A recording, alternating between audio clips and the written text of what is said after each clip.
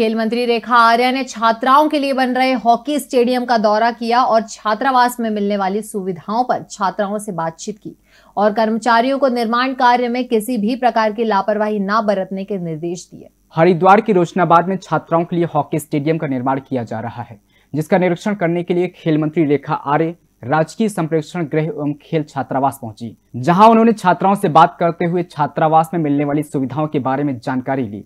और सभी खिलाड़ियों का हौसला बढ़ाते हुए कहा कि जीवन में अपना एक लक्ष्य निर्धारित करें और उस लक्ष्य को प्राप्त करने के लिए लगातार कड़ी मेहनत करें।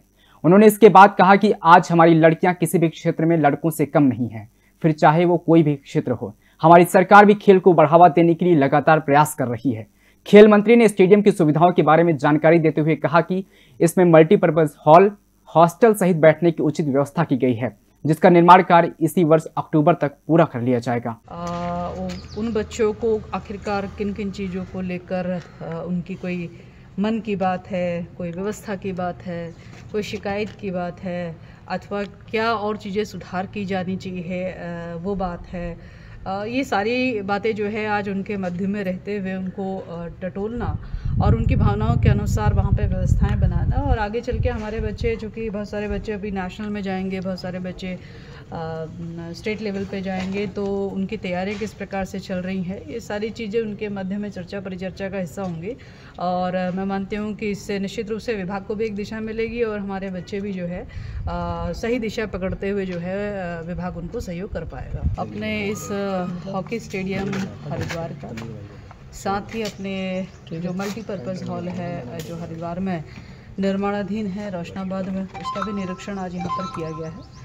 दोनों को निरीक्षण करने का पर्पज़ 2024 में जो नेशनल गेम होने जा रहे हैं, उसकी तैयारियों के निमित्त आखिरकार चीज़ें कितनी प्रोग्रेस में आई हैं, इसको देखने यहाँ पर पहुँची थी। तो हॉकी स्टेडियम का जो टर्फ है, वो तो अभी विभाग को हैंडओवर हो चुका है। जिसमें लगातार पानी के छिड़काव के साथ में वेल मेंटेन्ड है।